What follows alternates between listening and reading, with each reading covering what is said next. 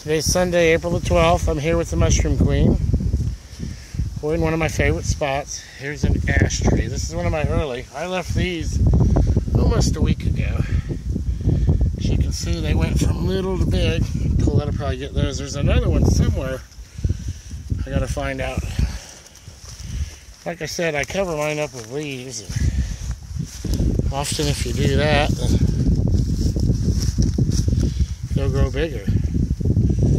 Maybe somebody found that other one. It was kind of out there in the open. So, at any rate, they are out April 12th. I'm uh, somewhere in Missouri between uh, Rockport and Joplin. Mushroom King out.